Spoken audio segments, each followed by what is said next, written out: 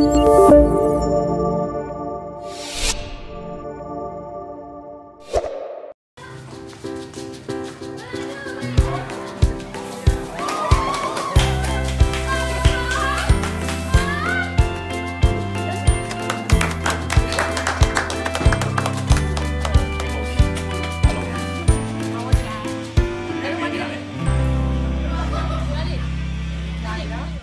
င်ကြီးတစ်မျိုးပဲမတွေ့ပြတာအဓိကတော့တောင်ကြီးကကျွန်တော် fan နေအဲ့တုန်းကဟိုတောင်တက်သွားကြလို့ဆိုပြီးတော့ကျွန်တော်မစီစဉ်ပြလိုက်ဘူးအဓိကတော့ကိုကတက်တက်ကြီးမသွားနိုင်ဘူးအလုံးနဲ့သွားနေတဲ့အချိန်မှာအလုံးအားတဲ့ညပိုင်းလေးမှာကျွန်တော် dinner party လေးလုပ်ပေးလိုက်တဲ့သဘောပါပဲအဲ့တော့အားလုံးလည်းပျော်သွားတယ်ကျွန်တော် fan တွေလည်းပို့ပြီးတော့ဟိုတယောက်နဲ့တယောက်ပို့ရင်းနှီးသွားတယ်ဆိုတော့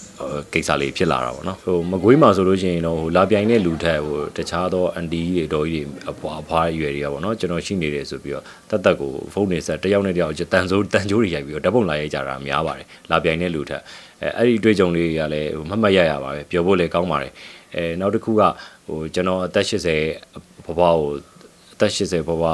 မထနိုင်တော့ဘူးပေါ့နော်80နဲ့မှ8နှစ်လားမသိဘူးအဲဘဘကိုကျွန်တော်သွားတွေ့ခဲ့ရပါတယ်အဲ့လေးလည်းအမှတ်တရပါပဲအဖွားမြိတ်တောင်ဝဲပါတယ်ပြီးတော့ तू ကပဲအမှုပညာရှင်က तू သွားတွေ့တော့သူ့ကိုမတွေ့ဘူးတို့အဲအဲ့ဒါလေးပေါ့လူကြီးဆိုတော့အကုန်ပြောပြတာပေါ့ဘယ်သူကတော့တွေ့တယ်တို့အဲ့လိုမျိုးအကုန်ကုန်ကုန် तू ကတော့အဲ့လိုမျိုးခင်ခင်မင်မင်မှာပဲပြောပါတယ်ပြီးတော့အဲ့နေ့ညပဲ तू ချက်ချင်းပဲ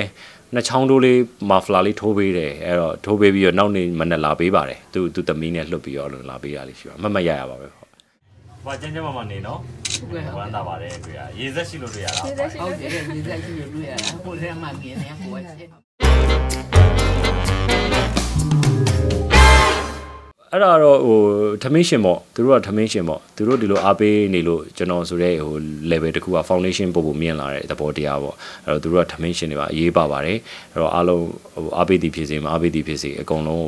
ဟိုမေတ္တာထားပါတယ်သူတို့အကုန်လုံးကသူတို့ရဲ့ ဟိုဝေဖန်မှုတွေအကြံပေးမှုတွေအကုန်လုံးကဒီကျွန်တော်လုပ်နေတဲ့အခုတက်တန်းတစ်လျှောက်လုံးအတွက်အရန်ကိုအကျုံးဝင်တဲ့အရာတွေဖြစ်ပါတယ်ဗျဟုတ်